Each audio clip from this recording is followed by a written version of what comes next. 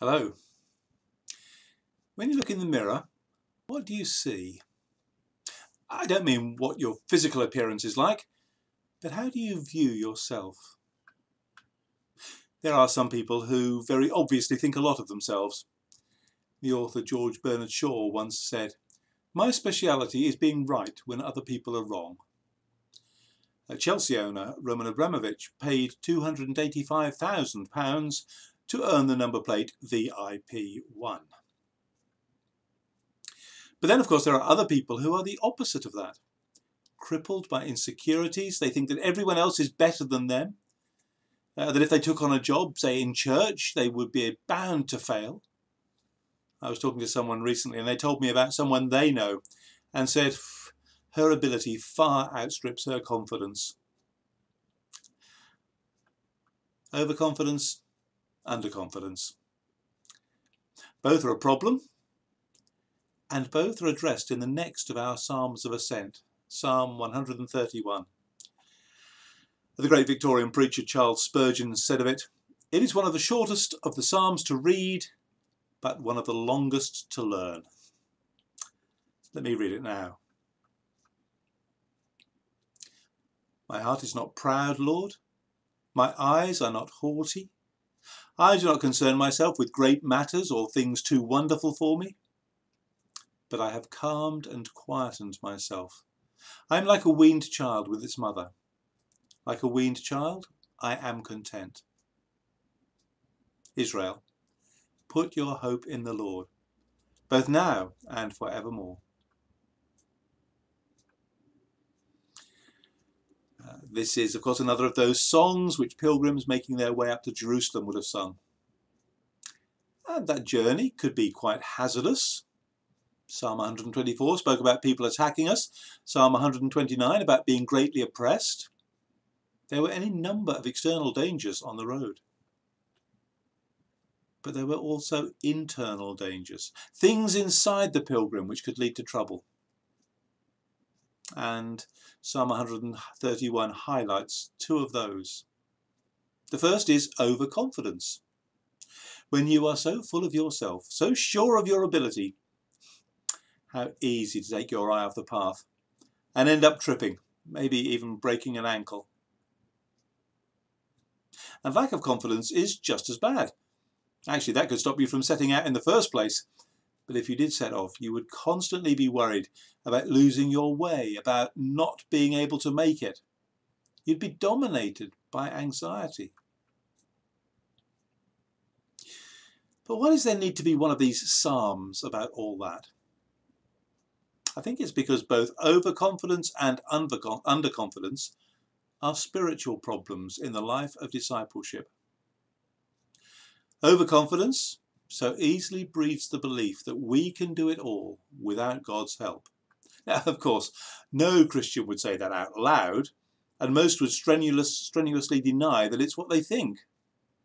But the more sure you are of yourself and your own abilities, the less you will be aware of needing to depend on God. And that's a problem in our society. A can do mentality is one that is prized what is described in Scripture as a root sin, uh, taking things into your own hands, being your own God, that's now admired as wisdom. Taking control of your life. In the life of discipleship, it is something we have to fight against.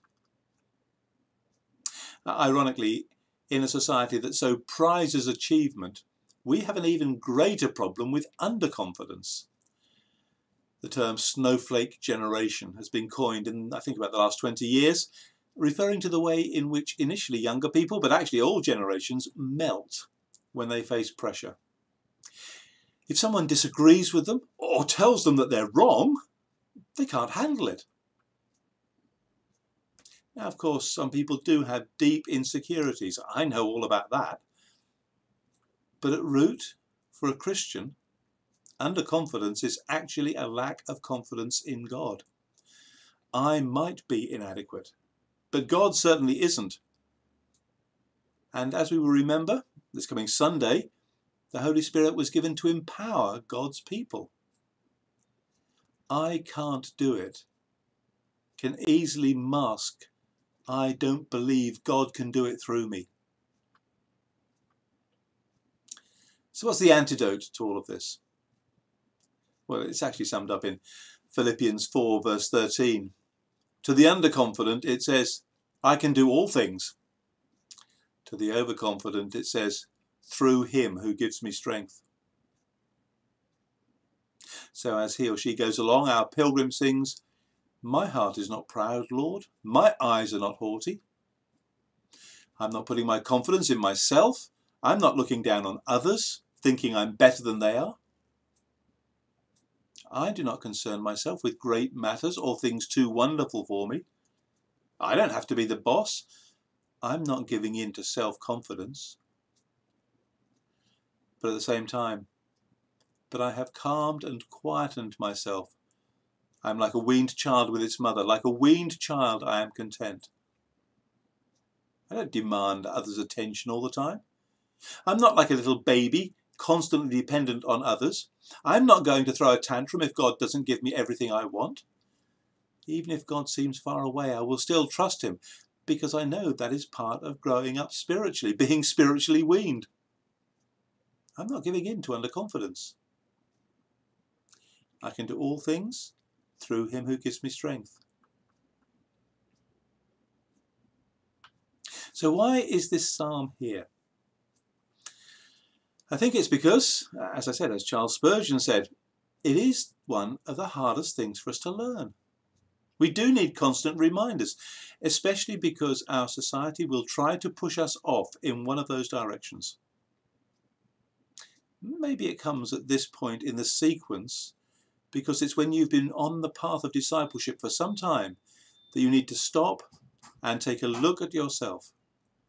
Have you become overconfident, forgetting your constant need of God?